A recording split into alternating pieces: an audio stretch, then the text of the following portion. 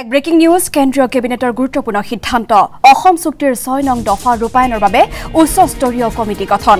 সাংবিধানিক ৰক্ষা কৱচৰ সন্দৰ্ভত সিদ্ধান্ত ল'ব উচ্চস্তৰীয় কমিটিয়ে বিধানসভাত আসন সংৰক্ষণৰ সন্দৰ্ভতো সিদ্ধান্ত ল'ব উচ্চস্তৰীয় কমিটিয়ে চৰকাৰী নিযুক্তিত সংৰক্ষণৰ বাবেও লোৱা হ'ব ব্যৱস্থা অসমীয়া আৰু খিলঞ্জীয়াৰ ভাষা সংস্কৃতিৰ সংৰক্ষণৰ ব্যৱস্থাৰ লগতে চৰকাৰী নিযুক্তিৰ সংৰক্ষণৰ ব্যৱস্থা গ্ৰহণ কৰা হ'ব সংবাদমেলত এই ঘোষণা কেন্দ্ৰীয় গৃহমন্ত্ৰী राजनाथ सिंह और सभी जानते हैं कि असम में कुछ मुद्दों को लेकर लंबे समय तक ऑल असम स्टूडेंट्स यूनियन का आंदोलन चलता रहा। लेकिन विडंबना यह है कि 35 वर्षों का समय गुजर जाने के बावजूद जितनी इफेक्टिवली इस असम एकड़ को इंप्लीमेंट किया जाना चाहिए था, वह नहीं हो पाया। पहली बार इस असम एकॉर्ड को इफेक्टिवली इंप्लीमेंट करने के लिए आज कैबिनेट में हम लोगों ने एक महत्वपूर्ण फैसला किया है, जिसकी जानकारी मैं आप सबको देना चाहता हूँ।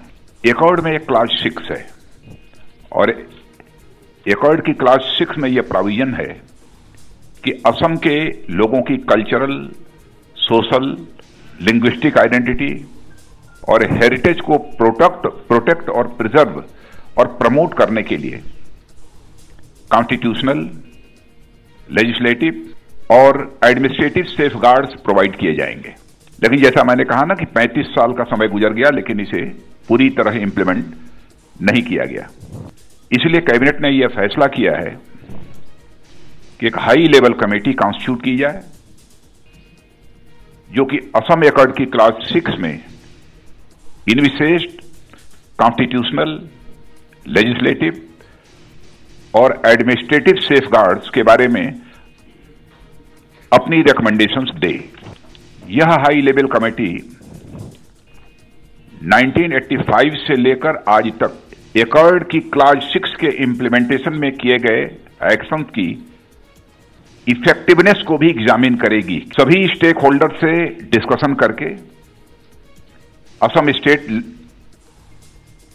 Assam legislative assembly में रिजर्वेशन के लिए क्वांटम के बारे में भी ये रिकमेंडेशंस करेगी कि यदि हम असेंबली में रिजर्वेशन करना चाहते हैं तो कितना रिकमेंडेशन किया जाना चाहिए? किसको किसको रिजर्वेशन में रिप्रेजेंटेशन मिलना चाहिए?